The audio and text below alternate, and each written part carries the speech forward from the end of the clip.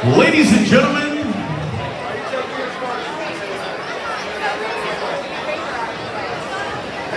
ladies and gentlemen, this is your first bout of the second round of the heavyweight division. Introducing first, fighting out of the blue corner, from Drummond, Tennessee, this is Jay, the Hillbilly Hammer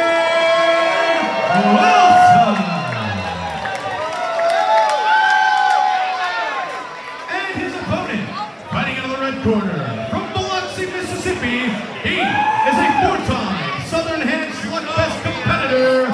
This is Joshua,